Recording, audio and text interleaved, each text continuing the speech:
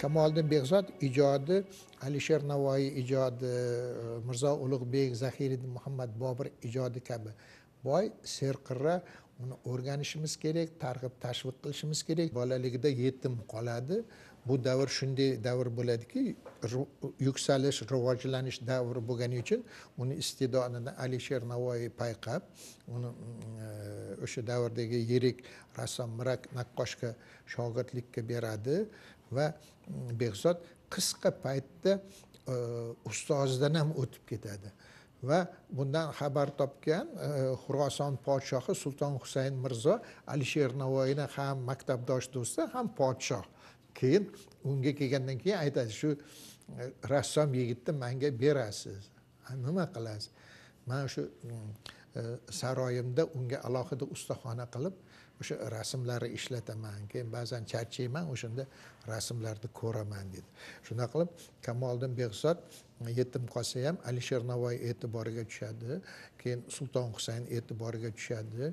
Endi bitta narsani aytish kerak g'arbda dastgohlik e, san'at keyin ibodatxonalarga rasm ishlash odat tusiga kirganda sharqda qo'lyozmalarga rasm ishlash qo'lyozmalarni bezatishga e'tibor kuchli bo'lgan.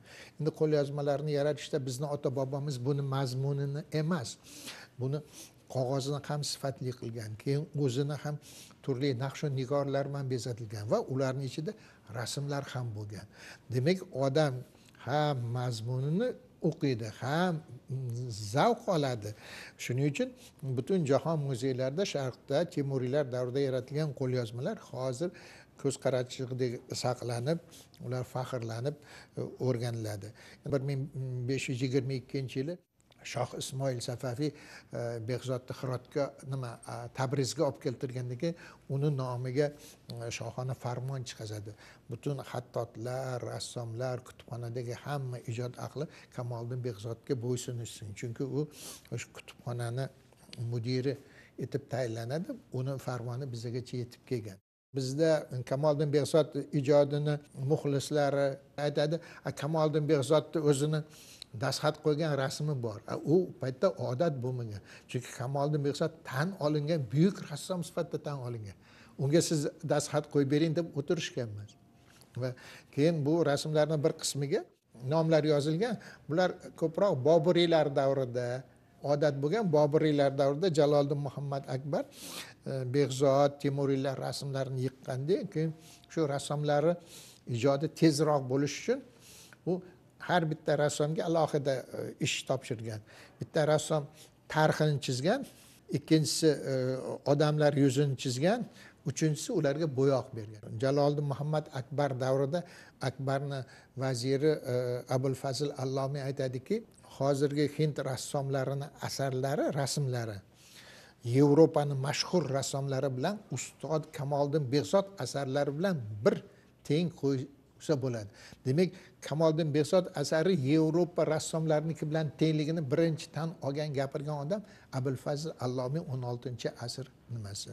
Endi kamoliddin behzod davrida e, nizomiy ganjaviy dostonlariga ishlangan rasmlar amir xusrav dehlaviy e, dostonlariga ishlangan tarixiy asarlarga ishlangan e, sharafiddin sharafiddin aliyaziyni zafarnomasiga fariduddin attor e, asariga ham ishlangan ilmiy asarlarga tarixiy asarlarga badiiy asarlarga ishlangan va ko'proq o'sha badiiy asarlarga ishlangan. Chunki alisher navoiy ijodi gullab uni kitoblari yaratilgandan keyin eng ko'p rasm ishlangan eng ko'p ko'chirilgan asarlar mana shu o'n beshinchi asr oxiri va o'n oltinchi asr bu alisher navoiyni asarlari bo'lgan.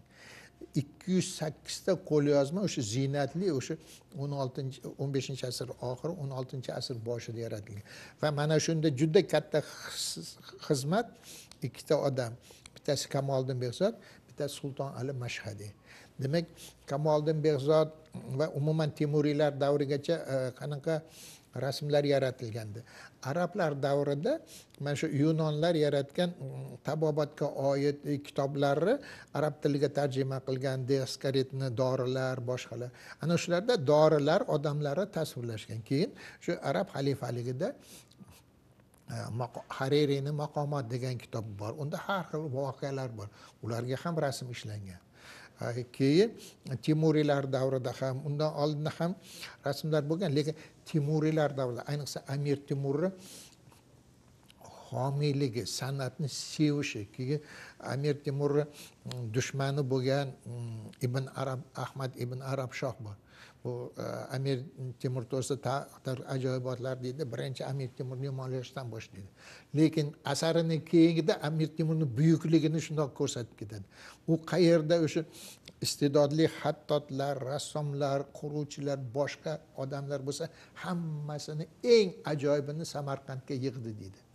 U e, e, samarqand atrofidagi bog'larni ko'shklarida rasmlar ishladi. Bu rasmlar uni janglariyu maishatiyu hayoti butun tafsiloti tasvirladi. Lekin uni bitta talabi bor edi. Hamma narsa hayotda qanday bo'lsa shundoq ko'rsatilsin deydi. Temuriylar davrida tarix ilmiga san'atga madaniyatga bunyodkorlik imoratlar qurishga juda katta e'tibor berilgan. Bitta narsani aytamiz. Temuriylar davrida ko'proq jangu jadallar tasvirlangan. Endi kamoliddin behzod o'sha rassom bo'lib shakllanib sulton husayn uni saroyiga chaqirgandan keyin sulton husayn davrida e, tarixchilar aytadi saroy amaldorlarini rasmini hayotdan behzod chizar ekanda sulton husayn kechqurun dam olishda haligi behzodni rasmlarini ko'rar ekan. U yerda o'sha e, odamlarni xatti harakati keyin bu yerda sal hajviyroq qilib kulgiliroq qilib qiziqroq qilib nima qilinadi endi behzod davridan oldin ham e, portretlar ishlangan tarixiy shaxslar ishlangan lekin kamoliddin behzodda o'sha portretga e'tibor katta bo'lgan. Alisher navoiy o'zi sabai sayyorda e, moniy degan rassom bor. U bahromga diloromni rasmini olib kelib ko'rsatadida mana dedi mana shu go'zal bor xitoyda shunaqa deb turib aytadi. Aynan o'zi emas lekin o'zidan nimadir bor deydi navoiy.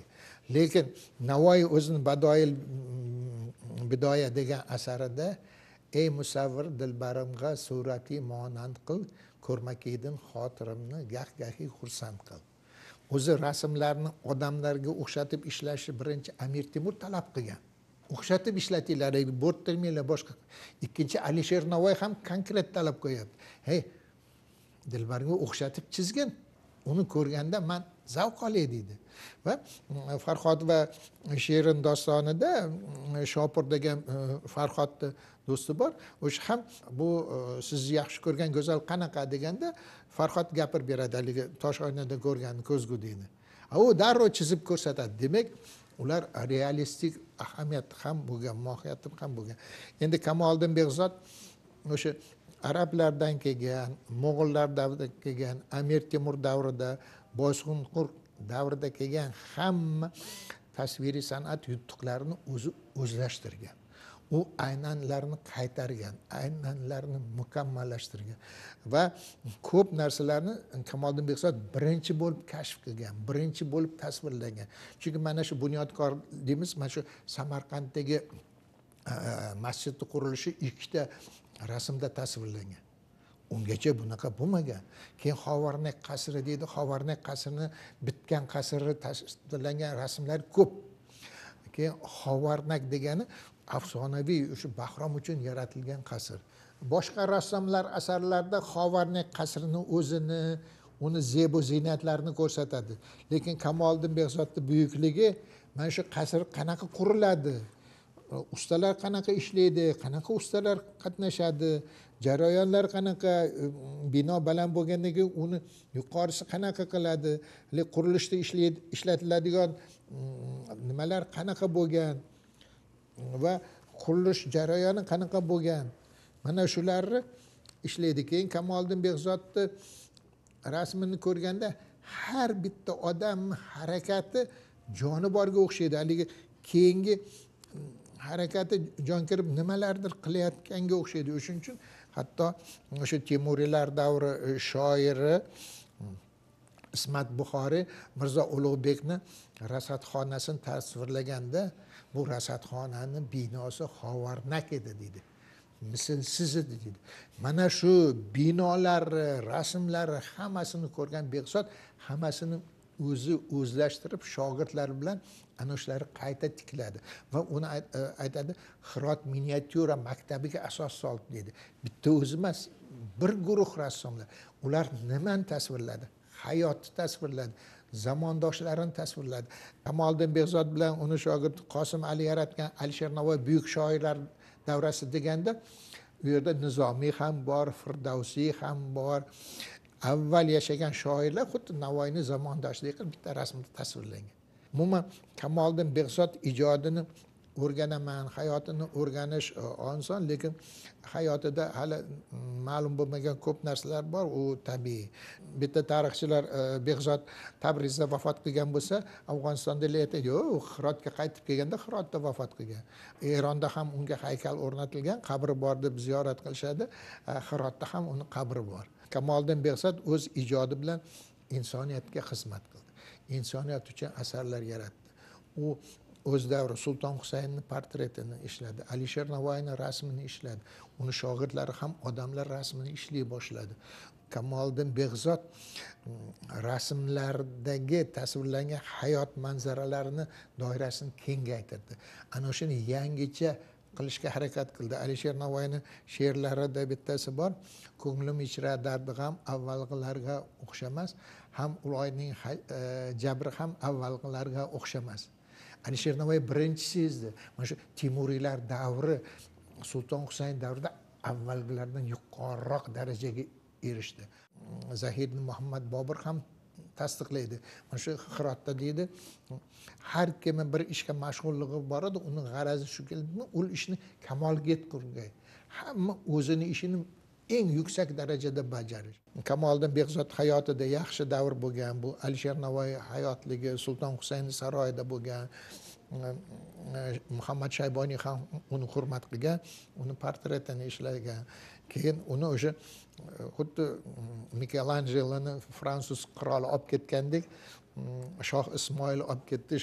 Hatto yozma manbalarda shoh tahmosibni eng yaqin suhbatdoshi bo'lgan behzod deydi.